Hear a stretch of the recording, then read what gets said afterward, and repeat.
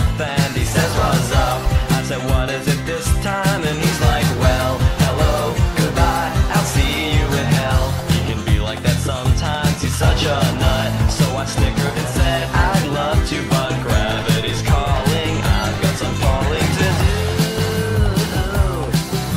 I'm in a state of shock, but it's something new.